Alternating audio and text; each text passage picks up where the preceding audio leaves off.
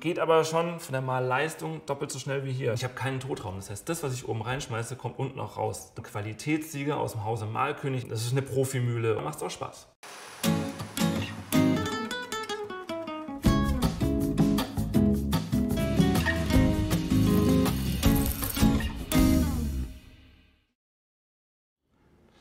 Herzlich willkommen bei Roast Market. Ich bin Julian von Hoppenwort und Ploch und wir sind heute bei Craft Coffee Gear zu unserem Mühlentest. Der Plan ist, dass wir euch einen Ratgeber an die Hand geben, mit dem ihr zu Hause äh, feststellen könnt, ähm, welche Mühle für euch in Frage kommt. Wir haben auch, ihr seht, kleine Mühlen und ganz große. Es geht von günstig bis ganz teuer. Und äh, wir fangen mal an mit der Hario Mini äh, Mill Plus Mühle. Die liegt so bei 30 bis 40 Euro. Das ist das Mindestbudget, das ihr ausgeben solltet.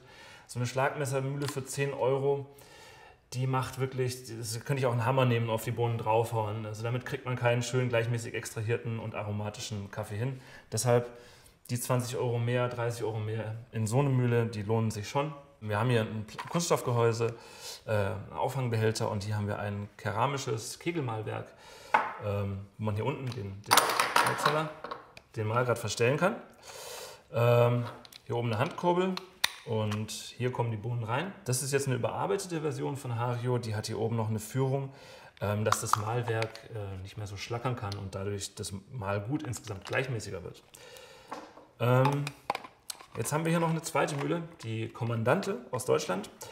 Ähm, ihr seht schon, das Ding hier dreht sich echt super gut. Das ist zweifach äh, gelagert. Das ist ein ganz tolles, ähm, eine Lagerung vom Malwerk, aber auch das Malwerk an sich, das man jetzt hier unten erkennen kann. Das ist äh, ein gehärtetes Edelstahl-Mahlwerk. Ähm, das, ist, ähm, das produziert ein Mahlgut, das auf äh, dem Niveau der ganz, ganz teuren und professionellen Mühlen liegt.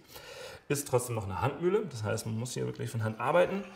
Ähm, geht aber schon von der Mahlleistung doppelt so schnell wie hier. Hier haben wir eine Mahlleistung von ungefähr 0,25 Gramm pro Sekunde, hier sind es dann schon 0,5 Gramm pro Sekunde. Ähm, was bei der Mühle halt wirklich auch schön ist, dass sie äh, aus Glas und Holz gebaut ist und nicht, nicht Kunststoff. Und ähm, das ist wirklich zum, zum Anfassen und Angucken ein ganz tolles Ding. Und bei den beiden Mühlen ist halt das Schöne, dass sie ähm, ohne Strom funktionieren, dass man sie überall mit hinnehmen kann. Dann kommt eben der äh, Einstieg in die elektrischen Mühlen.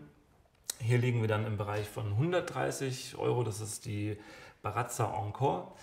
Wir sehen, wir kehren wieder zurück zum, zum Plastikgehäuse, aber bei dem Preis ist wirklich der Fokus auf dem Malwerk und das ist eine Mühle, äh, die vom Malgut, sage ich mal, zwischen den beiden Mühlen liegt. Äh, nicht ganz so professionell jetzt ähm, wie bei der Kommandante, aber es ist eine, ein Malgut, mit dem man wirklich schon einen ordentlichen Einstieg hat in, äh, in, die, in die Kaffeewelt. Also damit kann man sehr, sehr ordentliche Kaffeegetränke zubereiten. Und man ist halt schon elektrisch unterwegs, weil oftmals äh, erlebe ich das, dass Kunden das hier kaufen und sind, ah, so romantisch, ich mache mir morgens meinen Kaffee und nach zwei, drei Tagen ist es halt nicht mehr so romantisch, dann kommen noch zwei, drei Gäste zu Besuch und dann hat man schon keinen Bock mehr mit der Hand zu müllen.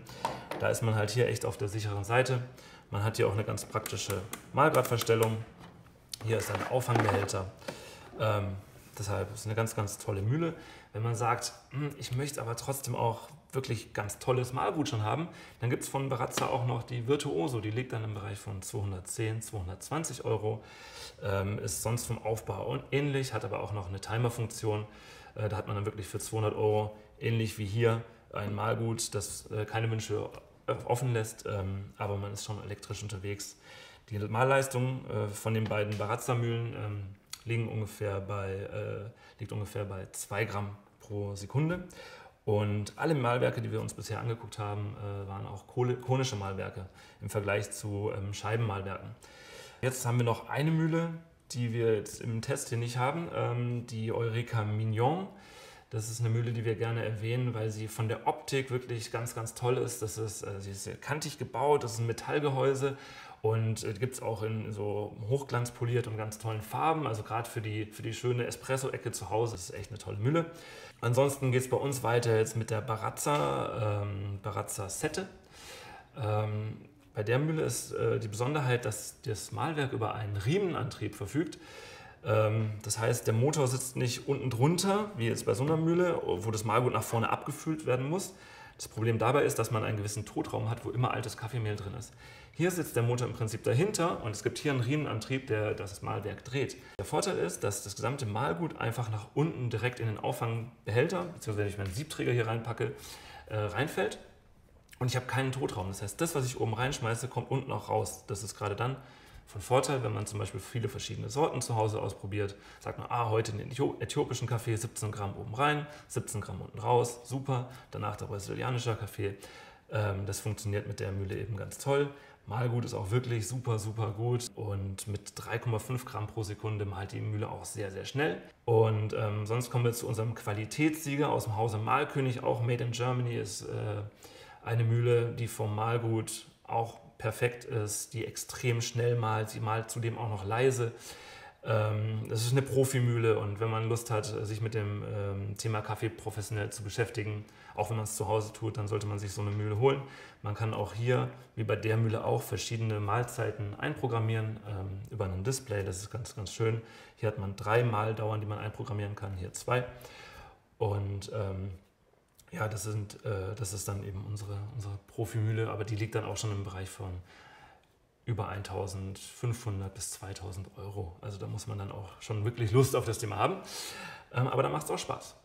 Gut, ich hoffe, ich konnte euch jetzt einen kleinen Einblick in das Thema ähm, zeigen. Wenn euch das Thema gefallen hat oder ihr irgendwie ähm, noch Kommentare habt, dann lasst die gerne da und gebt uns ein Like und dann sehen wir uns gerne wieder beim nächsten Video. Ciao, ciao.